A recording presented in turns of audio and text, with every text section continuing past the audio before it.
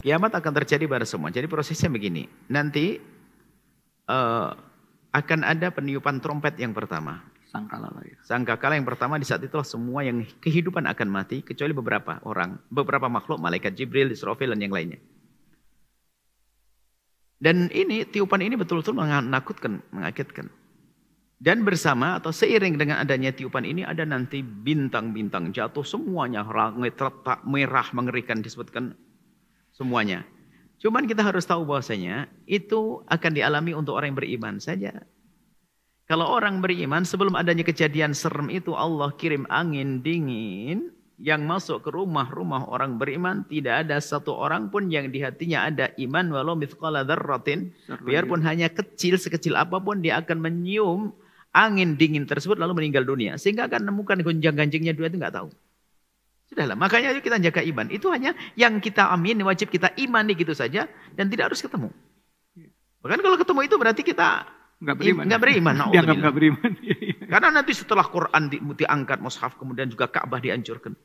Seperti Ka'bah dihancurkan. Dihancurkan nanti. Tapi setelah tidak ada orang beriman. Mushaf Quran juga hilang. Ya? Hilang dari hafalan orang, hilang dari permukaan bumi. Allahu Akbar.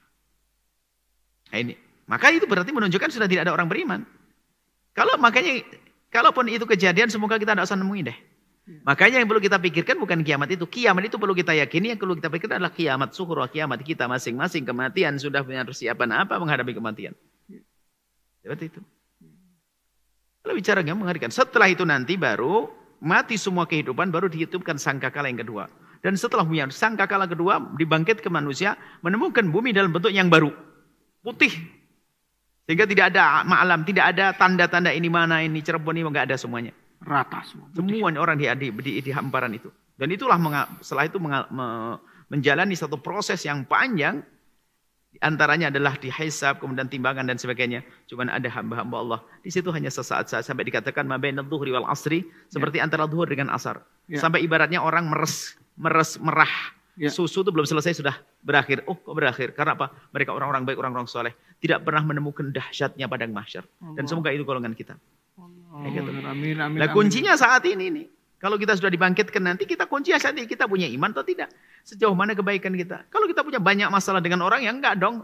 Lama di situ. Naudzubillah. Ribuan tahun. Iya. Baik. Dan bicara tentang hari kiamat itu tujuannya untuk itu menguatkan iman kita. Dan konsekuensi dari iman itu kita harus berbenah. Damai kepada Allah, damai kepada manusia. Kalau nah ini apa artinya itu cerita. Jangan-jangan kita samakan berita tentang hari kiamat seperti kita nonton film horor iya. atau film 2002 berapa kiamat? Iya, 2012 sudah kelewat.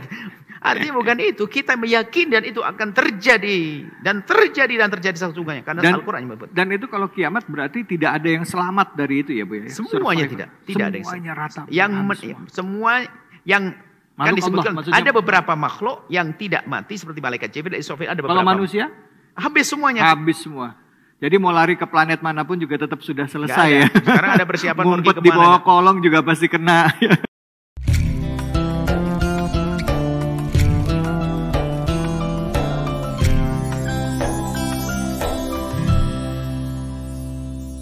Sahabat Albaja TV, setelah menyaksikan video ini, jangan lupa bersolawat kepada baginda Nabi Muhammad. Sallu ala Nabi Muhammad. Allahumma sholli alaihi wa ala alihi wa